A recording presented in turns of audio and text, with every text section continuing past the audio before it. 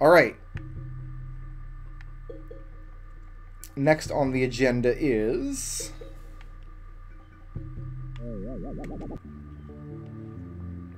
Violent Eyes of Flying. We want to get our Seeker Bolt out. Because these monsters here, if they see you, if they establish line of sight, they fly towards you and explode. So it's actually hard to fight them because you can't really look at them. But if you have Double Magic and Seeker Bolt, you can just do this instead and kind of cheeseball this level. Get him, get him! Thank you. I don't know what that Seeker Bolt was doing. It's like, eh, I don't feel like it. I'm just going to fly circles if that's okay. What's really funny is you can soft lock in this level if you're not paying attention. This is a movable block, but it's only movable on these two squares. So if you push the block back where it started, that's it. You're, you're trapped in this level. But, I mean, you can just restart the level, because at that point you already have the, uh, the fairy bell. But the rest of these guys, we don't actually need to fight at all. And you can't. There's no fireballs in this world. You can just kind of Metal Gear on past them. Alright then.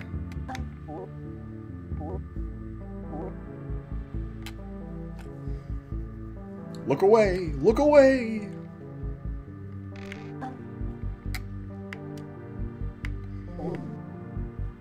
The final chamber is open. They have no idea where I am. Because they have only eyes and not ears. It's going to be a clockwise maneuver through this room here, and we should be fine and dandy. Just like so. We are done here. We'll see those nerds later in another level where we can actually kill them, and that'll be fun. Let's make sure we save here, just in case. Okay, so in this little maze-like area here, we have the second did I spawn on top of a monster? It's the second random room. Wow! Twice in a row we spawn on top of a monster. We spawn on top of a fire trap with a bomb monster near us. That's great. That's fantastic. Oh, that guy's gonna kill me?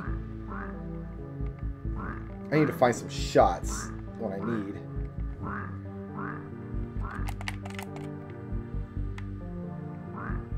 Get some.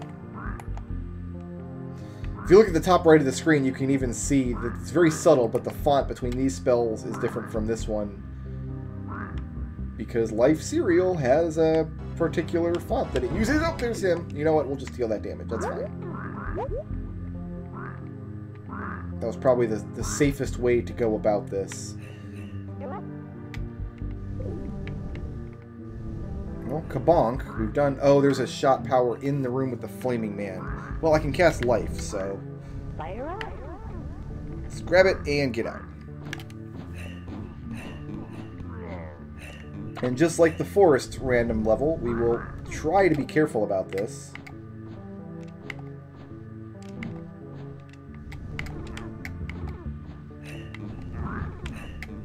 Wow, I don't know how I'm going to get in there. One shot at a time, it looks like. Oh, I guess he's dead. That's good. Okay. Uh, let's go back to this magic drink now. The monsters should get stuck on walls, perhaps. Ow. That's fine, though. As soon as we get to the magic drink, we can life it on up. Have us some cereal. Alright, we got another charge of it now, too. Okay. Now we can fight back. Let's start clearing out some of these rooms. That was a lot of really inauspicious starts. There's some health drink. And just like the forest level, we'll eventually have really amazing firepower, but you can never tell when you're going to get it because it is random. Which I think is a cool idea, these levels. But I'm glad he doesn't use this trick more than twice. There's only the two randomized levels in the game. I think more than that would have been way too much of a thing.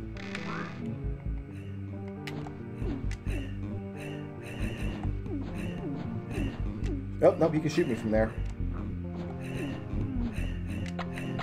Even though their shots are much fatter than yours, I think they have the same hitbox as your shots, which means they can partially clip through walls that your stuff cannot. Hmm. Hey, there's some health, there's some tears up. Very, very good.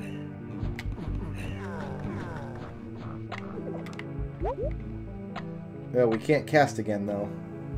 Oh, I should have went back for that green drink. I shouldn't have casted there at all. Oh, well.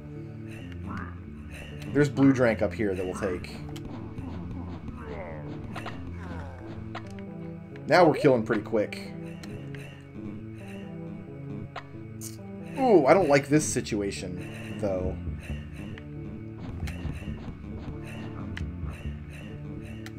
We gotta take down these bombos one at a time here. With skeletons possibly harassing us.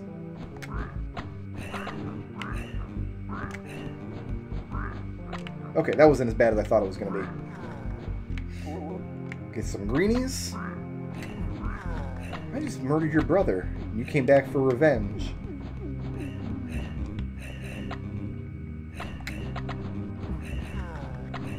Yeah, we've got access to plenty of green drinks, so we should be okay from here on out. Don't have a green key, though, but here's a switch that is stuck. Who knows what that switch does?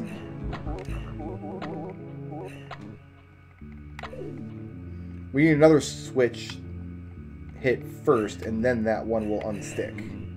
I think that's how it works. I'm just gonna wander around randomly. There's way more rooms in this one too, and they're they're smaller than in the forest. I wouldn't be surprised if there's a hundred separate rooms in this level. I actually built a dungeon something like this, except for the randomized elements in RPG Maker once. There's my exit there.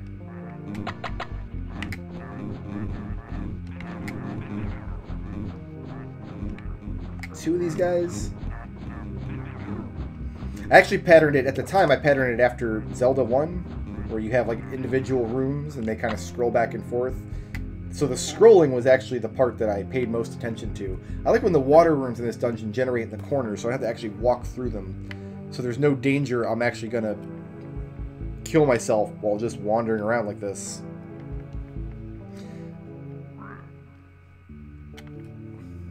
But in the RPG Maker software I used to use, getting anything like this to be randomized would be an astounding difficult task. I think I can think of some ways to do it using RPG Maker 2003 is what I used back at the time. But my god, it would not be fun.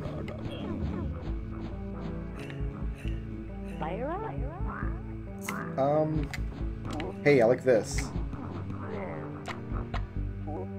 Check in the room to see if there's a little sewer trap dragon guy, but there's not. So just grab that. Whoa, okay. We're starting to really come down to the wire on health. Let's backtrack and grab some of that green drink I left behind. Skelly Man is in the way. Okay, he's gone. There we go. That's much better. Uh, we might as well just do this, because this is a dead end, it looks like.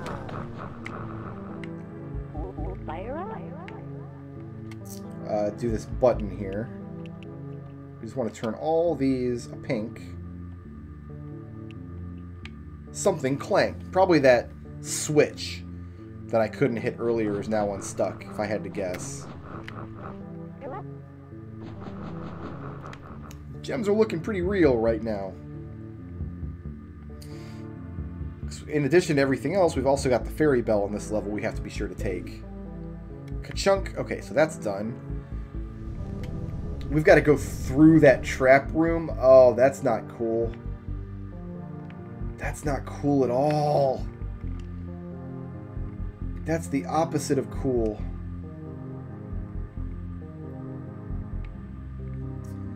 That, oh, hopefully we get some magic potion between here and there. Although I may have used all the magic potion. There's health potion here in this little room that we can get into now. Mm, mana potion, but not enough to cast with.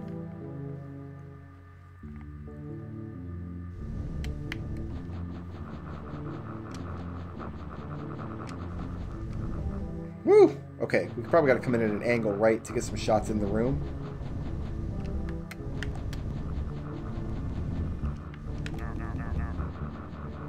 I'm not taking damage. All their fire is kind of staying localized in that room.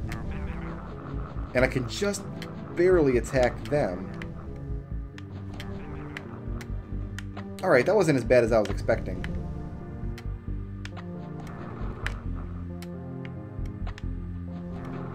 We're still making this work. I'm... I am being a little reckless, though.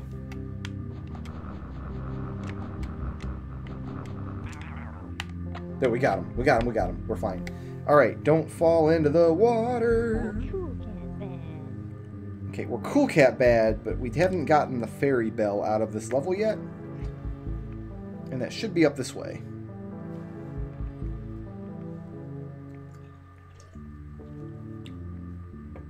Just a mild, pleasant sojourn up to the top of the level.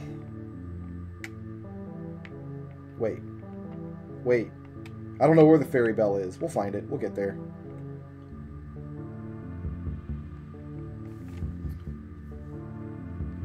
There it is. It's down there.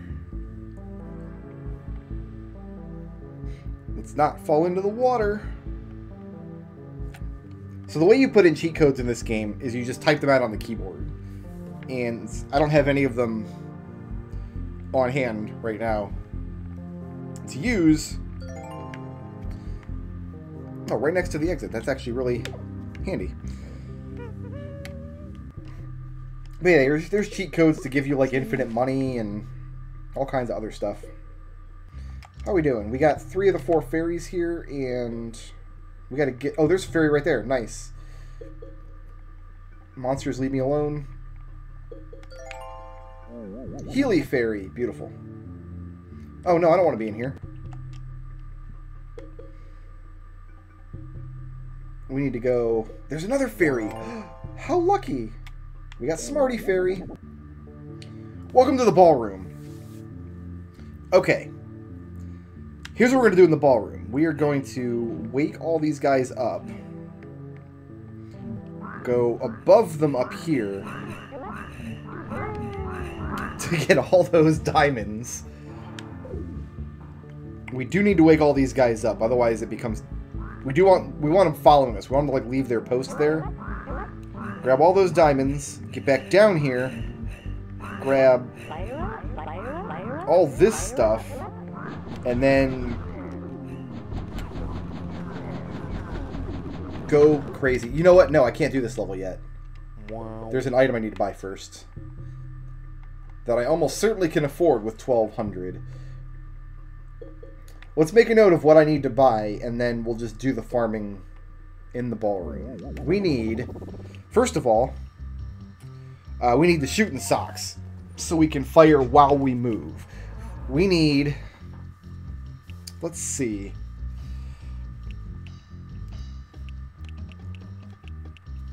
So we need 800 for the heart pendant and 750 for the sun amulet 800 plus 750 equals 1550. So once we have 1550, we will be done with the ballroom. But now that we can shoot and move at the same time. Wow. I can actually complete this level. Alright, so we want to wake all these nerds up. And go up here and get the diamonds. Get stuck. get absolutely trapped in the center of the room. Should put on Inferno in case that happens again. And we got three diamonds there. Let's heal up. Alright, grab reverse gem. get everything, and now we are a just moving death machine. And as long as we thread ourselves in between the oculoid fireballs...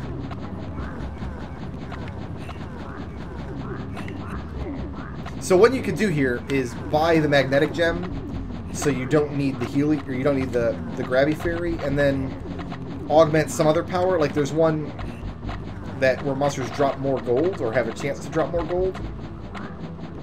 The problem is you have to save up for the magnetic hairband to make that work. So, and this is a good way to farm, but it's not perfect. Like you still, it still takes a little bit of time. So any farming you do to buy the magnetic hairband is just farming you have to do again later. Anyway, so as far as I and as far as I can tell in my experimentation with it, the uh, the extra gold you get from the monsters is not that extensive anyway. There's a book we can get. We got to kill all the monsters in the ballroom first. So for now, we'll just grab our green orbs. So, so this is a fine way to get money in this chapter, but it's definitely not the fastest way to farm. The best way to do it that I found is in New Game Plus in the spider level. Because you can imagine the spider level if I had these shots, how much fun it would be. And it is kind of fun, just firing the shots and mowing down just this army of bad guys. That's all the level is. Is just a wide open space with bad guys everywhere. Is that it? Is there anybody else out here? Alright, we got the Energy Storm spell, which is this.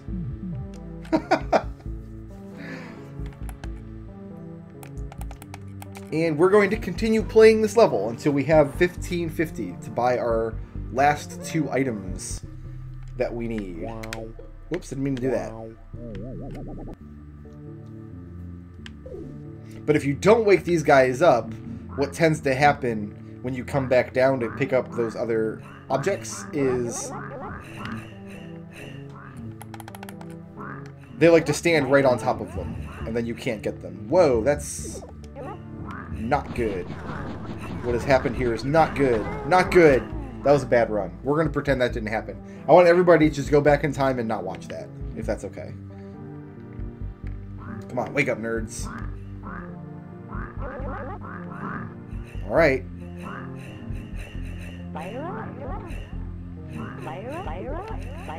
I'll take the one hit, that's fine. Alright, we're good. And I want to try to make my way back to the center so I trigger as many of these monsters as possible. But the priority is staying out of the way of the oculoid fireballs, otherwise that happens and you take a bunch of damage. But there is plenty of healing in the corners, so to be safe, you could make your way towards the corners and heal up. Would be the safe way to do it. Why would you do anything the safe way, though? And I guess the Zambos just die too fast that they don't get a chance to charge at you, I guess is all that's happening here.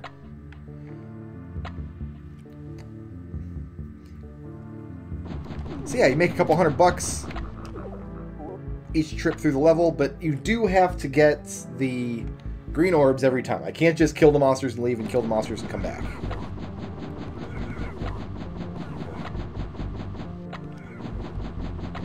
I feel like I'm missing one of my energy orbs. Did I not pick up all of them? I only picked up four of them. So yeah, I'm not... There it is.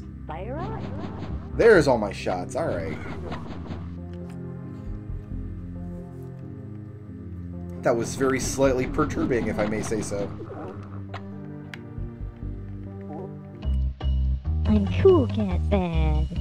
Shoutouts to Johnny LaRusick for sponsoring this video, and to everybody who helps make my channel possible by supporting me on Patreon.